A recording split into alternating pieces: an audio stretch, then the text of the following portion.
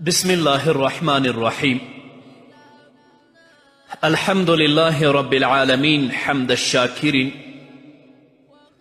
الصلاة والسلام على سيد الأنبياء والمرسلين سيدنا ونبينا وشفيعنا ومولانا محمد وعلى آله وأصحابه الطيبين الطاهرين قدرمنو اوریدونکو د ژوند د لارې د خپرونې مینوالو السلام علیکم ورحمت الله وبرکاته ستاسو روغتیا او خوشحالی د پاک رب نه غواړم په دې هیله چې د صحت او عافیت جامې پر تن ولرئ او خوشحالی مو په برخه وي دا دی زه محمد یاسین فهیم د ژوند د لارې د خپرونې په وړاندې کولو کې ستاسو په خدمت کې یم زموږ د نن ورځې د خپرونې موضوع بیا هم له ګناهونو څخه د خلاصون لارې درنو اوریدونکو له ګناهونو څخه د ځان ساتنې عملونه ټول هغه عملونه دي چې هغه د تقوا لاندې راځي چې په تیرو خپرونو کې تاسو ته تا په تفصیلي توګه بیان شو خو په دې خپرونو کې د تقوا او وقایې ځینې متعلقات او یا ورپورې اړوند هغه عملونه څېړو که بنده ورته پاملرنه وکړي نو له ګناه څخه به د ځان ساتنې په باب کې لا زیاته مرسته وشي د ځان ساتنې دغه مهم عملونه مراقبه تفکر او محاسبه ده مراقبه چې معنا یې څارنه او ساتنه ده د زړه له صفتونو څخه یو صفت دی یعنی په زړه کې دا باور درلودل چې الله تعالی له ما څخه خبردار دی هغه څارونکی او ساتونکی د عملونو دی ما ګوري ما څاري له هغه څخه زما هیڅ حرکت او عمل پټ نه دی که هغه ښکاره وي او که پټ وي الله رب العزت په سورة نساء کې په دویم آیت کې فرمایي ان الله کان علیکم رقیبا بشک الله رب العزت ستاسو لیدونکی او څارونکی دی الله تعالی په علم سره په هر ځای کې دی هغه نږدې دی او هیڅ شی ورڅخه نه پټیږي چې دغه معنا د قرآن کریم په متعددو آیتونو کې ذکر شوي لکه چې الله رب العزت په صورت حدید کې څلورم آیت کې فرمایی وهو معکم اینما کنتم الله رب العزت له تاسې سره دی په هر ځای کې چې یاستی همدارنګه رب العزت د بقرې په صورت کې په یو سلو شپږ اتیایم آیت کې فرمایي و اذا سألک عبادي عني فإني قریب او کله چې له تا څخه ای پیغمبره زما بندگان زما په باره کې پوښتنه وکړي نو ورته ووایه چې زه نږدې یم همدارنګه الله رب العزت په سورة قاف کې په شپاړسم آیت کې فرمایي ونحن اقرب الیه من حبل الورید او موږ د انسان ته د مرۍ له رګ څخه هم زیات نږدې یو همدارنګه نبی کریم صلی الله علیه وسلم فرمای ان افضل الايمان ان تعلم ان الله معك حيثما كنت په تحقیق سره بهترین ایمان دا دی چې ته پوه شې په دې باندې چې الله خامخا در سره دی هر ځای کې چې او په یو بل حدیث کې راځي یو کس راځي محمد رسول الله صلی الله علیه وسلم نه پوښتنه کوي وما تسکیت المرء نفسه یا رسول الله ای د الله رسوله د بنده د ځان پاکوالی په څه سره دی محمد رسول الله صلی الله علیه وسلم ورته فرمایی ان یعلم ان الله معه حیثما کان په دې سره چې دی وپوهیږي او باور ولري چې الله رب العزت له ده سره دی په هر ځای کې چې دی وي امام غزالی رحمه الله په خپل کتاب کې احیا العلوم د مراقبې په باب کې یو واقعه را نقلوي هغه لیکي یو مرشد عالم ته په خپلو شاګردانو شاګرد ډیر خوښ و او د هغه به ډیر قدر کوه یعنی دا شاګرد ورته ډیر ګران خو نورو شاګردانو به په دې سره اعتراض کو چې دا په ټولو شاګردانو کې ولې دا شاګرد تا ته ډیر ګران دی او ولې د ده قدر او عزت په موږ کې د ټولو نه زیات کوي نو هغه عالم مرغان راوغوښتل هر یو شاګرد ته یو یو مرغه او چاړه په لاس کې ورک او دا یې ورته وویل چې دا مرغه په داسې ځای کې حلال کړئ چې څوک مو ونه ګوري همدا وه چې له همغه شاګرد څخه پرته نورو ټولو شاګردانو مرغان په لاسونو کې حلال شوي راوړل هغه عالم له هغه شاګرد څخه پوښتنه وکړه چې ولې دې دا مرغه حلال نه که بیرته دې ژوندی ماته راو هغه شاګرد ورته وویل ما خو داسې ځای پیدا نه که چې هلته مې څوک ونه ګوري بېشکه چې الله رب العزت ما په هر ځای کې ګوري همدا و چې هغو نورو شاګردانو په دې اعتراف وکړ چې دی له موږ څخه زیات د قدر او د عزت او د مینې وړ دی نو که ته په دې باندې پوه چې الله رب العزت تا ویني الله رب العزت ستا د عملونو څارونکی دی په هیڅ ځای کې ته د الله رب العزت نه پټېدلی نشي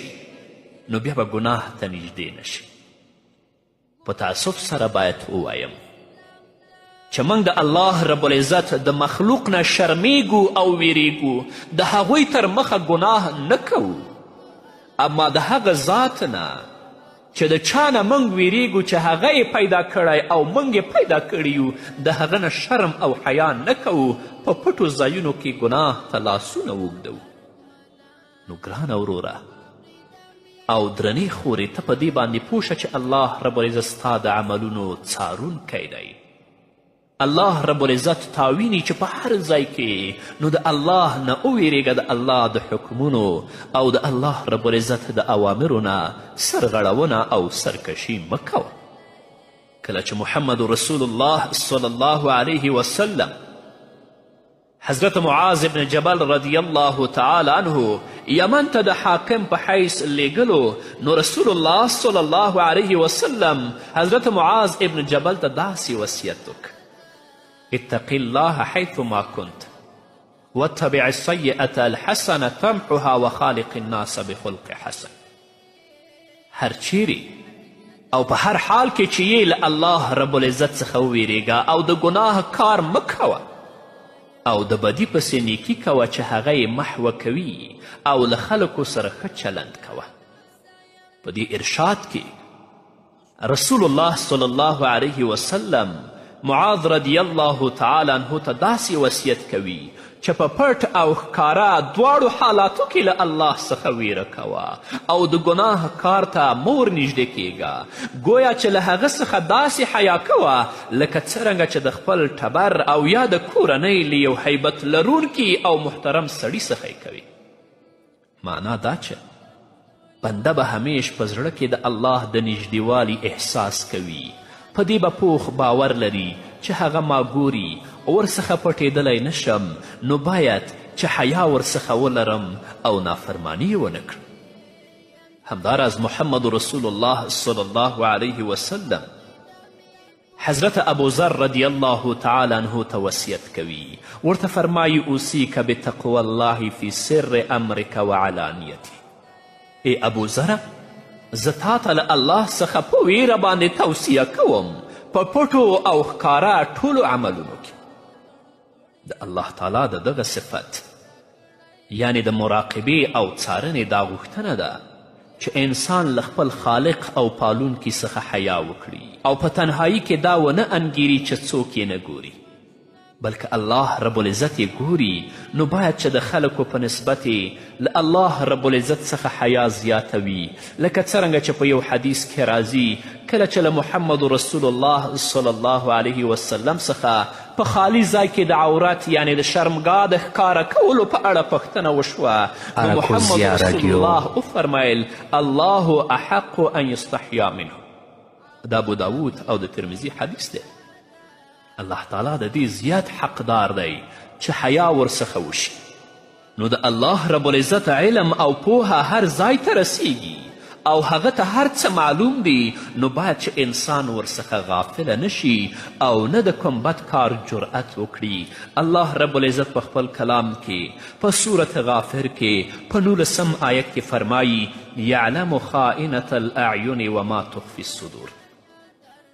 هغه پوهیږي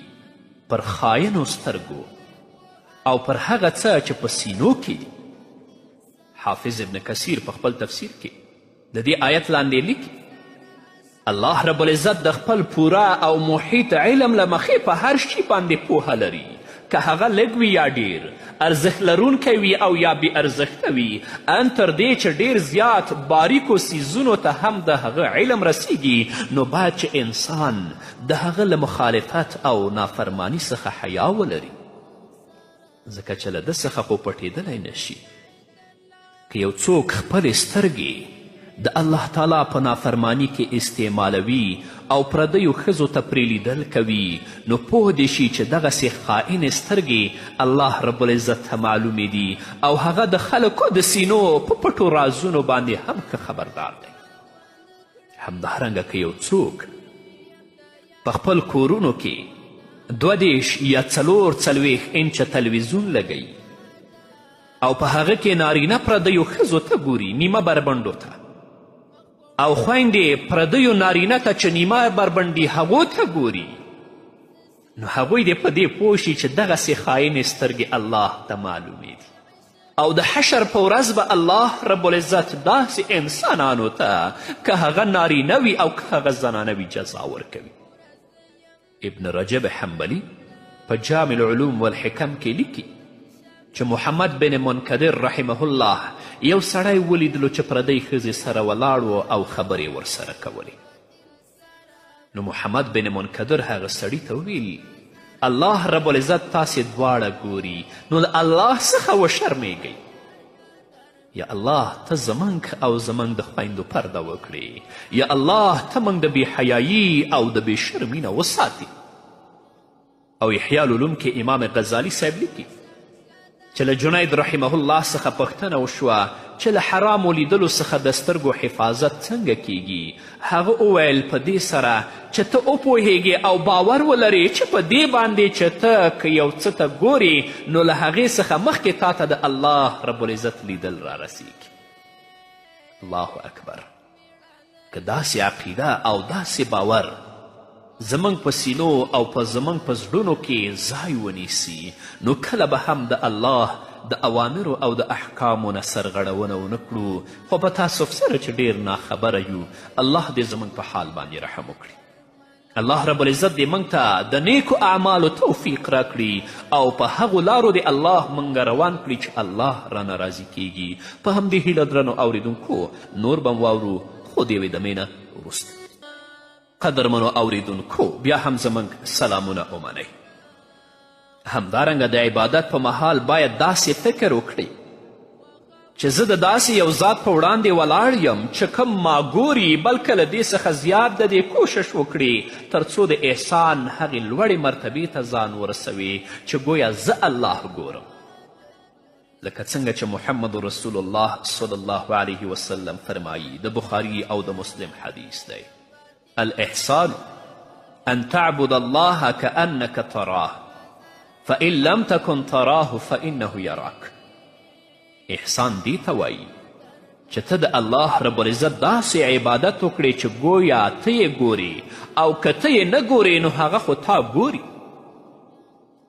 د رسول الله د دې وینا په دې جمله کې چې ان تعبد الله کانک تراه دې ته اشاره ده که چیرې بنده په دې صفت سره د الله عبادت وکړي چې هغه ورته نږدې ورسره حاضر دی دا یې په مخ کې ولاړ دی او ورته ګوري نو د خشیت خوف حیبت او تعظیم صفتونه به پکې پیدا شي او په سمه طریقه سره به عبادت ادا کړي او د رسول الله په وینا کې دا جمله فان لم تکن تراه فانه یراک دا افاده کوي که یو بنده لومړی مرتبې ته نشي رسېدلی چې ګویا هغه یې ګوري او دغسې احساس کول ورته سخت وي نو بیا خو هرومرو داسې باور ولري چې یقینا الله یې ګوري هغه یې پر پټو ښکارو دننه او بیرون ټولو حالاتو باندې پوه دی او هیڅ یې ورڅخه نه پټیږي نو باید چې په درسته او سمه طریقه یې عبادت وکړي همداراز د نبی کریم صلی الله علیه وسلم په دې حدیث کې دوه مقامات ذکر شوي یو مقام د اخلاص او بل مقام د مشاهدي د اخلاص مقام دا دی چې بنده په داسې شعور او احساس سره د الله تعالی عبادت وکړي چې هغه ما ګوري راته نږدې دی نو کله چې بنده داسې احساس وکړي نو په عمل کې مخلص دی او دغسې احساس به بل چاته له توجه کولو او بې له الله څخه بل چاته له عبادت کولو د ارادې څخه منع او د مشاهدې مقام دا دی چې بنده دا احساس ولري چې زه په زړه سره الله تعالی مشاهده کوم الله ګورم او دا هله کیدلی شي چې زړه یې په ایمان سره رڼا شي او بصیرت یې په عرفان او پوهې کې ورننوځي تر دې چې غیب څیزونه ورته عیان وګرځي چې همدا د احسان د مقام حقیقت دی په دغه مقام کې خلک متفاوت دي چې هر یو د خپل بصیرت په اندازه باندې دغه مقام ته رسیږي دې مسئلې ته علامه ابن رجب په خپل کتاب جامع العلوم والحکم کې پوره پوره وضاحت ورکړی دی که یو څوک د احسان لوړ مقام یعنې د مشاهدې مقام ته ځان نشي رسولی نو باید چې له هغه ادنا مقام اخلاص څخه خو راښکته نشي بلکه په عبادت کې دغه مقام مطلوب دی چې هر بنده احساس وکړي او په دې کلک باور ولري چې ما الله ګوري په یو حدیث کې راځي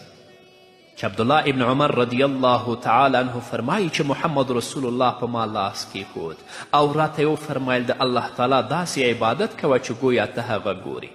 او په بل روایت کې ذکر شوي دي چې نبی کریم صلی الله علیه وسلم ته یو کس راغی او ورته ویې ویل چې یوه لنډه خبر راته وکړه محمد رسول الله وفرمایل د رخصتېدونکي شخص د لمونځ په څیر لمونځ وکړه بېشکه که ته الله نه ګورې نو هغه خو تا ګوري او د محمد رسول الله جلیل القدر صحابي ابو دردا رضی الله تعالی عنه یو مهال یو سړي ته داسې توصیه وکړه د الله داسې عبادت کوه چې ګویا ته هغه ګوري نو باید موږ او تاسې په عملونو کې اخلاص ته پوره پوره پاملرنه وکړو تر څو مو الله عملونه قبول کړي دا ځکه چې په عملونو کې اخلاص ته پاملرنه ډیره ضروري ده ځکه چې عملونه بې له اخلاص څخه نه قبلیږي لکه څنګه چې محمد رسول الله فرمایي انما الاعمال بنیات بېشکه چې د عملونو دارومدار او قبلېدل په نیتونو سره دي باید چې یو بنده د یو کار په پیل کې د الله تعالی د مراقبې او څارنې احساس وکړي چې هغه ما ګوري ما څاري نو په کار ده چې دغه عمل د هغه د رضا لپاره وکړم همداراز له ځان سره په دې فکر او غور وکړي چې آیا د دې کار لپاره